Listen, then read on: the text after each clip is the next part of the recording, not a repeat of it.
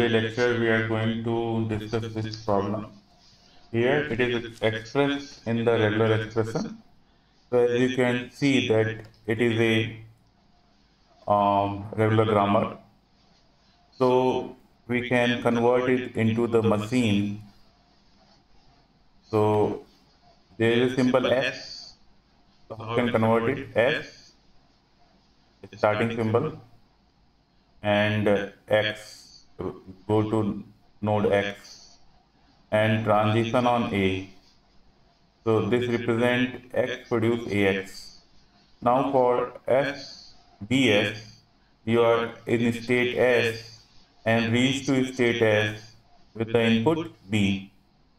And there is two more production A and B. If you look, let the new destination is a final state. So here you are but just going on a comma b okay. Similarly x so here you will going to x reaching to x on the input transition a and this is the a. Now this is if you write down this i will write down s produce bx ax AD, BD, X produce, AX, AD, and D produce epsilon. So if you simplify, it, you will get the same thing. Okay. Now next task is just converted into the simple machine. So in place of this, replace Q naught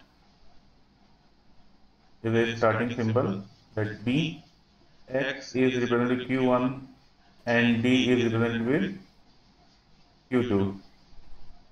So when you do this, what you get? There is a, this is a, it is a similar machine, a comma b, and here you get a.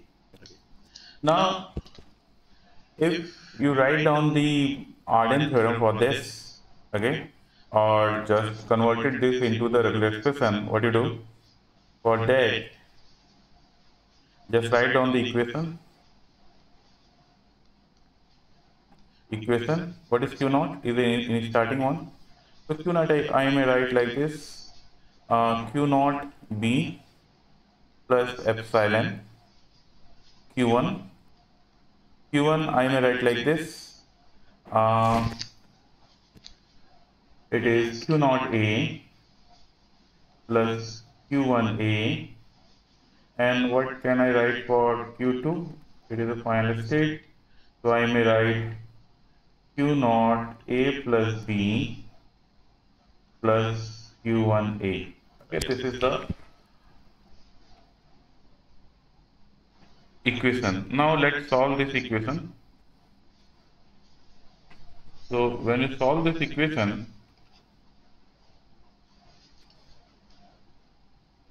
So let's solve this equation.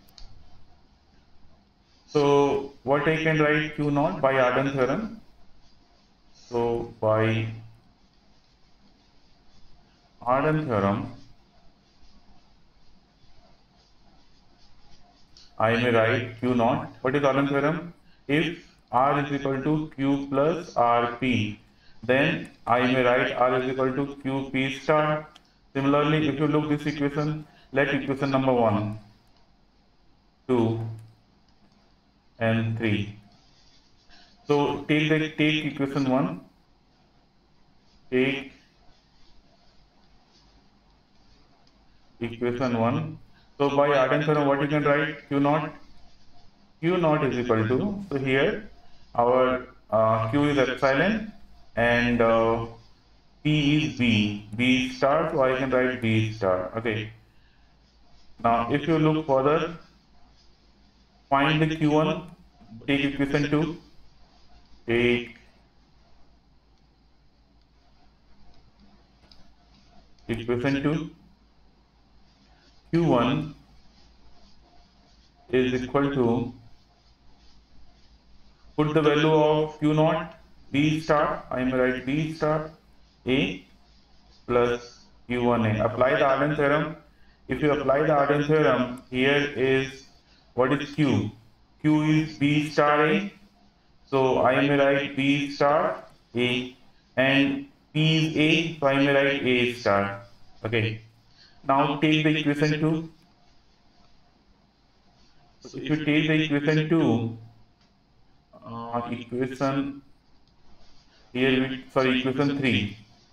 If you take the equation 3, what about Q2? Q2 is the final state. Q0, Q0 is a B star A plus B and plus, what is Q1? B star A, A star A. So this is the regular expression.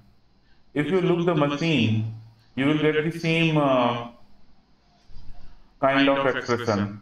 So for this grammar, for this grammar, our regular expression will be B star for this grammar. If you look this grammar, our regular expression will be B star.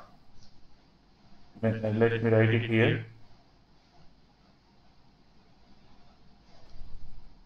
B star, if you look B star is here,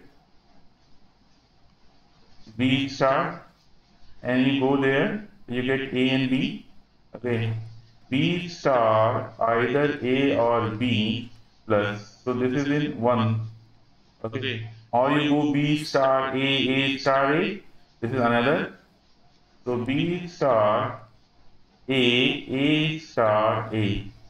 So this is our final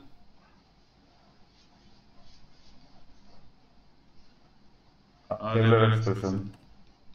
Is this clear? Hope you have cleared this one. Thanks a lot.